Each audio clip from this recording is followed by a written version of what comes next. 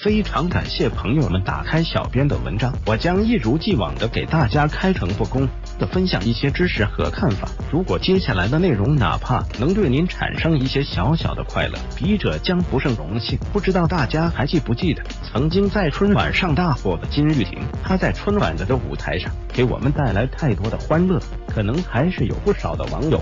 会表示对金玉婷不是很了解，但她还是有很多经典的作品。她也跟很多春晚的元老之间都有过合作，这些春晚大咖可都给她当过理解的。金玉婷曾经五次登上春晚的舞台，带来了很多优秀的作品，比如将爱情进行到底、暖冬等。连续登上春晚的舞台以后，让金玉婷越来越备受关注，她还被称为春晚第一美女。上完春晚以后，金玉婷就开始涉及影视作品。在新版的《神医喜来乐传奇》中扮演赛西时，跟老戏骨李保田演对手戏。也正是这部戏，让更多的网友喜欢上了这个女孩。之后，她还出演了《我是大侦探》《要过好日子》等电视剧。在她很火的时候，金玉婷却再无新作品，渐渐的就淡出了娱乐圈，慢慢的被网友们所遗忘。